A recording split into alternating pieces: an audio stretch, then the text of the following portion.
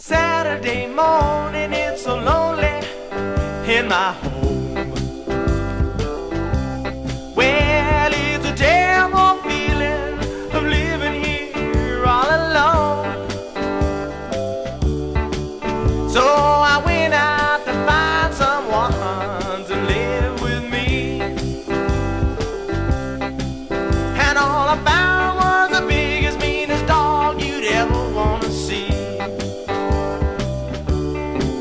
So I brought him home and I named him Good Old Sam.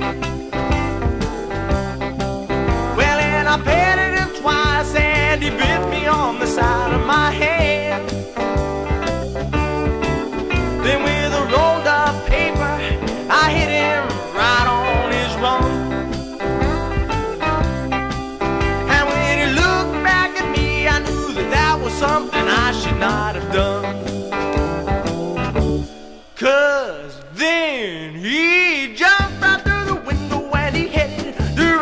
Across the street. Where the school grounds were crowded because of a district track meet.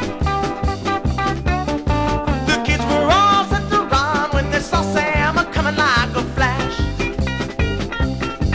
And when the gun went off, they all set a world record for the hundred yard dash. Well, I finally corralled him and I put him on a leash.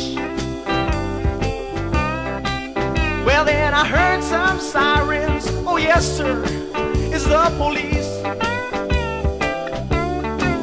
Well, then the captain said that this dog must be put to bed. And when Sam looked at him, I knew that that was something he should not have said. Cause then he broke right from the leash